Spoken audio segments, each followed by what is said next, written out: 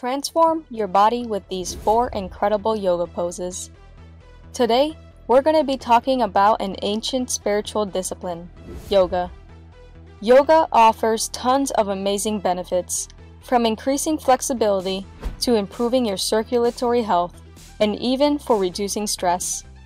Once you master these yoga poses, your mental and physical health will improve. If this sounds good to you, then check out these four incredible yoga poses that will change your life for the better. But before we start, don't forget to subscribe to our channel and turn on the notifications so you won't miss out on any of our new videos. Now, let's begin. Number 1. Chaturanga Dandasana. Don't worry, this pose is not as difficult as the name. It's also known as the yoga push-up. This pose will strengthen your arms, core, and lower back. First, get in a plank position. Keep your elbows close to your ribs, and bring your knees down so they are parallel to the ground. Lower your body slowly into a half push-up. Make sure not to let your chest or shoulders drop. If you like this pose, wait until number 4. Number 2. Downward Facing Dog. With your palms shoulder width apart, press your hands flat on the floor and spread your fingers. Then begin to lift the hips up towards the ceiling.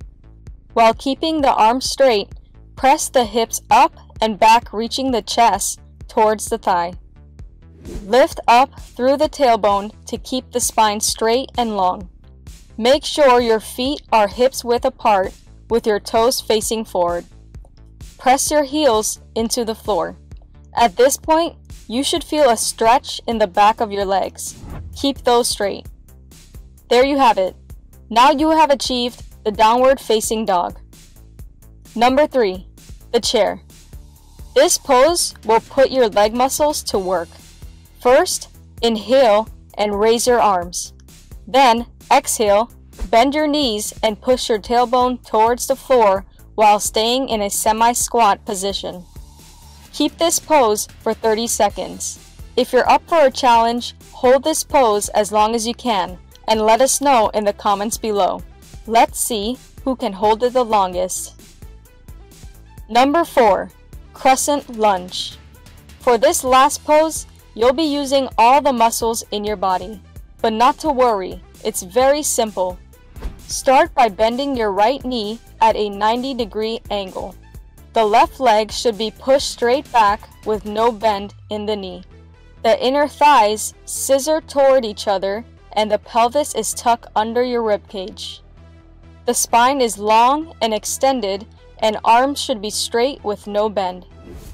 The hands can be together or separated and facing each other with the fingers spread wide.